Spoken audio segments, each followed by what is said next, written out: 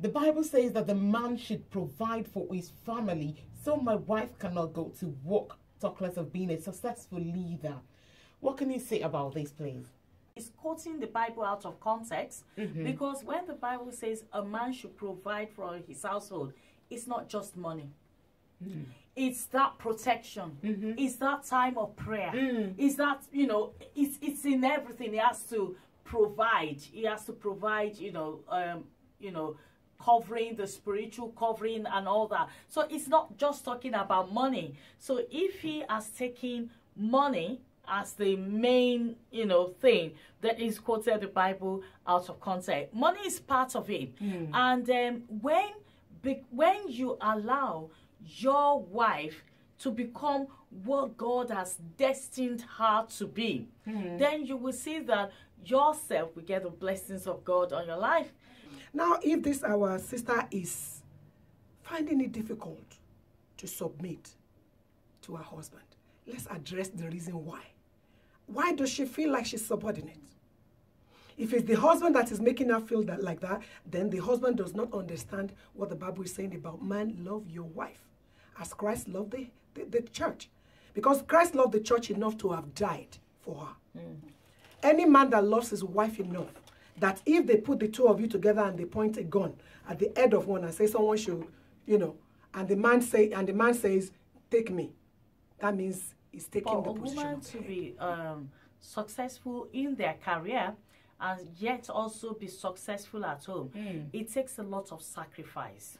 It really takes a lot of sacrifice. Some women are the breadwinner, and um, when a woman is the breadwinner, there's a bit of an inferiority complex you have to deal with, you know, in that situation. So um, I've known um, some women who would get all the money and um, just give it to the man to to kind of be the one to direct the spending of it, right?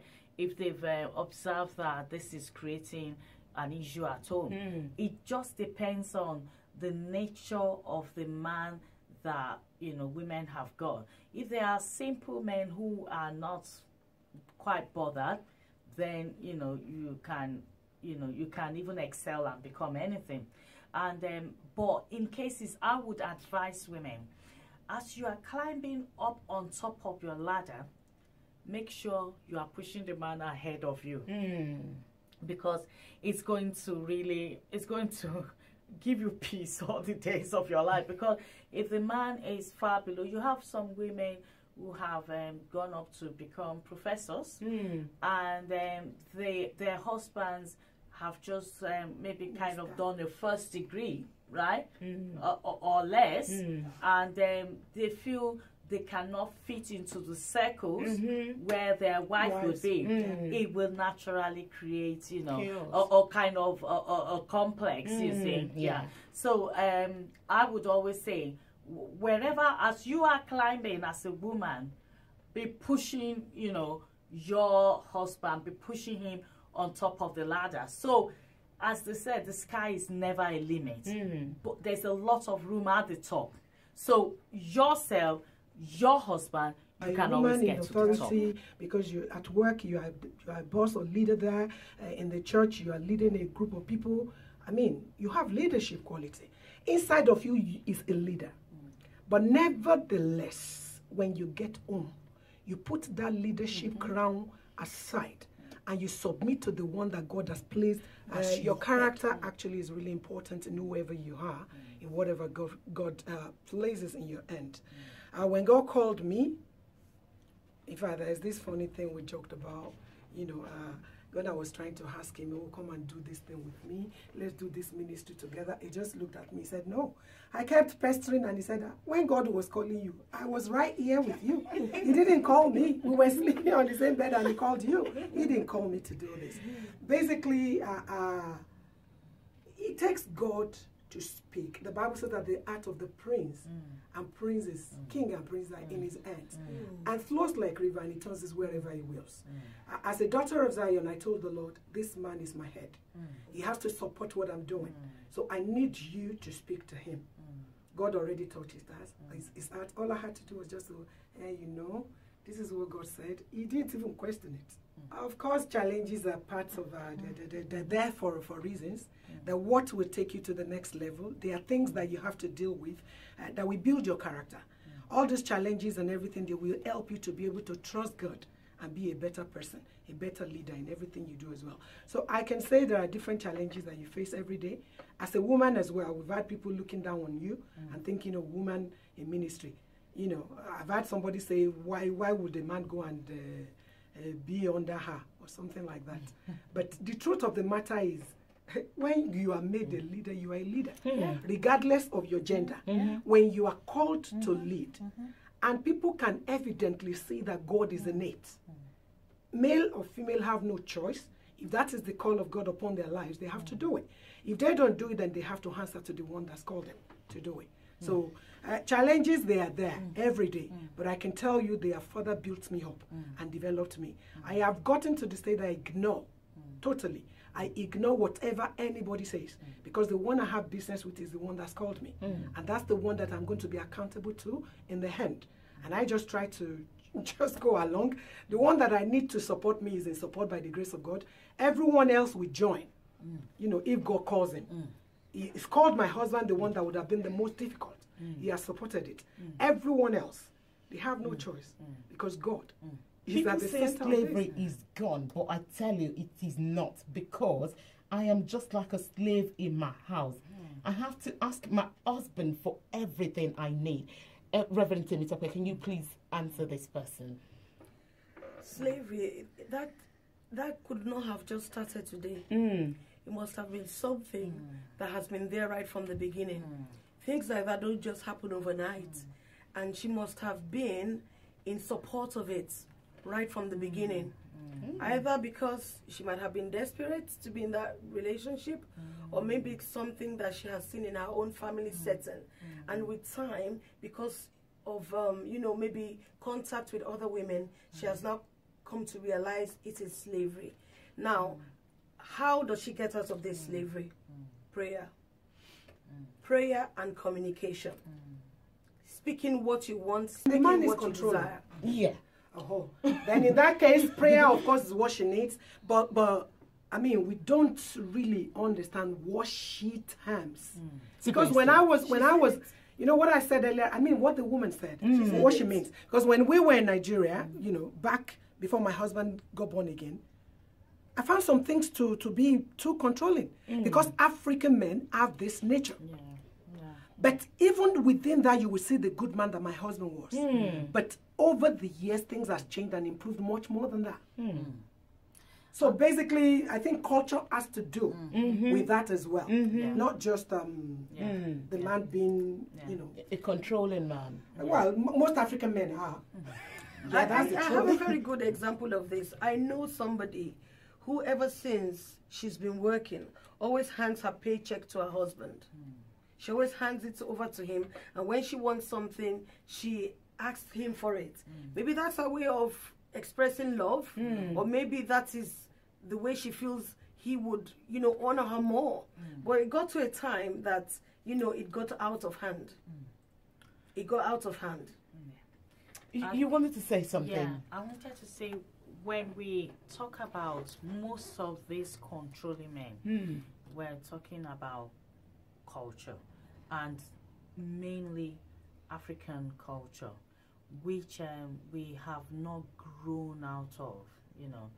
Um, the Western world, because they imbibed the um, Christian culture very early enough, um, most of those things have almost kind of gone completely, you know, um, away from this environment. But because in African culture, uh, men have seen their fathers in those days. Women actually are uh, children are born because they need to work on the farm. A man has many wives because he needs more children to be able to, To go out to help on the farm. Things have changed now, but yes, some men have not realized that their environment have changed. You know, they are not in the environment where they were when they were growing up, and the woman never worked just had to take care of the children and the home. But even though these things have changed, we're in a more westernized environment, some men have still not been able to reason it to say they have to also change their modus operandi. They have to change, you know, to be able to adapt. Paul said, When I went to Rome, I did like the Like Romans, Mm. just so that at least I can by some chance win some. African men that have come to westernized environment, please begin to be like the Western, so that at least you can win your home and you can win, you know, the people. Because you do the dishes, it just shows you love your wife and you love your when we're family. talking of leadership, Mm. we're talking of confidence. A leader is got to be confident. Let us put everything we can, you know, to be able to develop confidence, especially in our male children, mm. because a leader has got to be confident. Confidence is acquired when you get information. Mm. That's right. You see what I mean? Mm-hmm. If you're not well informed, mm. then you don't seem to be sure. Sure. And that it's not that is So you know true. not good for leadership at Mm, all. mm. So you know, um, in, in terms of a woman who is, you know, it is good that the man who is the head of that home should try and gain some confidence skill, and we can always help them. We can always help the men because you can decide to get a movie that is talking about you know confidence, you know how to build up confidence Mm. And then you will see that the man acquires that confidence and that would help in the whole and anyone who is going to be a leader get informed Mm. get informed read Mm. read get yourself um the, the paul was writing he said study to show yourself approved. Approved. get yourself approved because that would then be able to help either as a man Some people or are as a not woman good at reading books. But when you see people, you learn by watching and looking at others. Mm. If she knows any woman, she can look for mentorship mm. program. Mm. You're timid, you can't talk. But when you sit with people that can talk, then you begin to wonder, how is she doing it? Mm-hmm. They said I can't do it, but she's doing it. Mm-hmm. So mentorship program, I believe Needs help to. see people that are doing well and learn from how they are doing well. They must have made mistakes, and we learn from their mistakes. Uh, role model, like I said, mentorship is not just. It's good to have a person that you're looking at, mm. but at the same time you read books. Mm. There are people that are great leaders, mm. great women of God all mm-hmm. over the world. Mm-hmm. You know, even some are not Christians; they're leaders. That you know, like the Queen and people in leadership all over.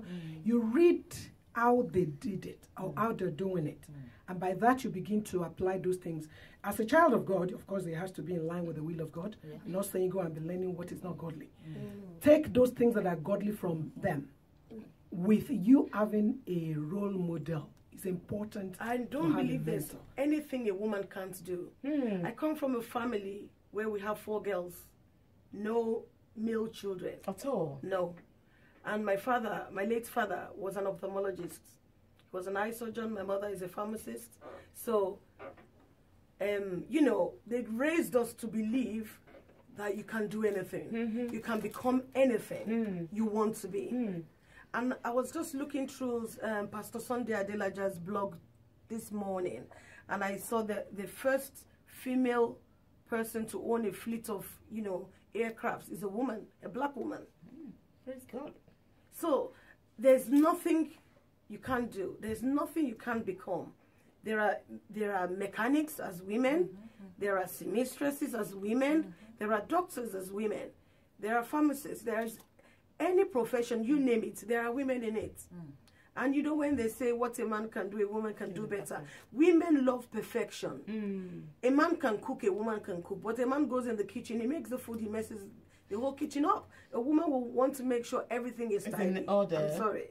But you know it happens. So women are perfectionists. We, we, we raise children, we nurture them, we teach them to be tidy, we teach them to clean their rooms. We, we, we are nation builders because we raise the men to be whatever they're going to be in future.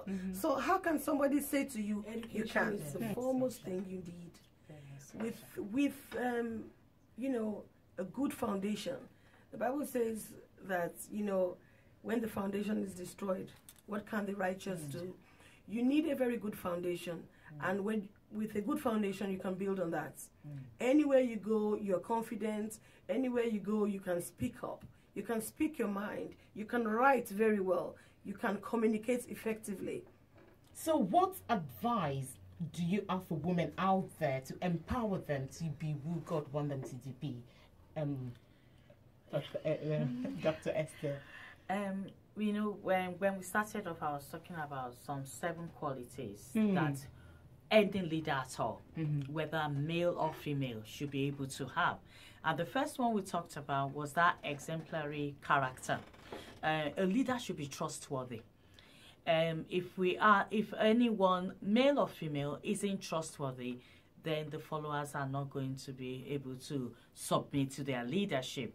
We also said that a leader, a leader should be very enthusiastic. Mm. Don't be a complainer. Some people are in their leadership role and every day they are always complaining.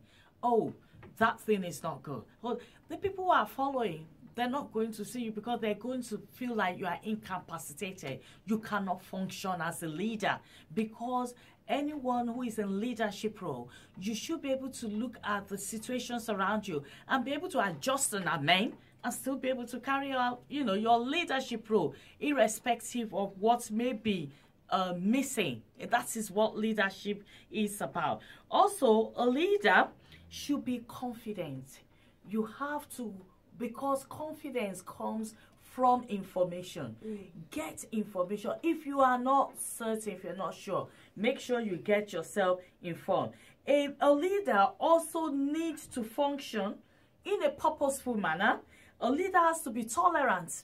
We're talking about tolerance. There will be people who are following you and who will not still do what you want them to do. Mm. Tolerate it. Don't complain about everything. You heard about the 2080 rule. Make sure you focus on the 20 uh, most important thing that will be able to, uh, uh, you know, I, um, account for the rest of the 80. Also, a leader is should be committed to excellence.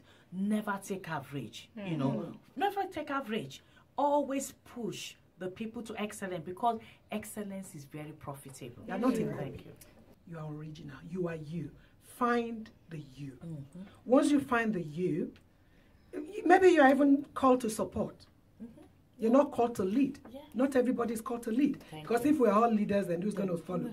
If you're called to support, then support Yeah. with that Yeah. no knowledge. Mm. If you're called to lead, find out. Once you know yourself, it's easy. Thank you. women should always submit to the Holy Spirit. The Holy Spirit is the greatest teacher. Always, at every given point in time, always seek what the will of God is for your life. The will of God for your mentor might not be the will of God for you. Everybody is called to do different things. Just like uh, Doctor told us earlier, she listened to something, you know, that she found was in line with what she, you know, was agreeable to her. You know, but you, sometimes you need to hear that word.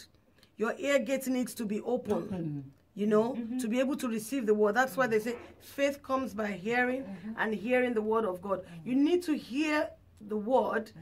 and, you know, hang on to it. And, you know, the Holy Spirit will just lead people to know exactly what they are supposed to do. So, more than relying on people, mm-hmm. rely on the Holy Spirit. Thank you very much. Um, Yeah, um, I just want to say to all women out there, either for those who are in leadership position already or those who are being groomed to be in leadership position, please lead by example. Have a real godly character. Uh, the Bible encourages us that if you are going to be a leader, you have to be a servant. So imbibe that, you know, serve. See yourself not as the boss, because as we said in the studio, not all bosses are leaders. That's right. So don't see yourself as a boss. See yourself as a leader, someone willing to serve in whatever capacity you have been put into. The truth can hurt you, or the truth can change you. What will truth do to you?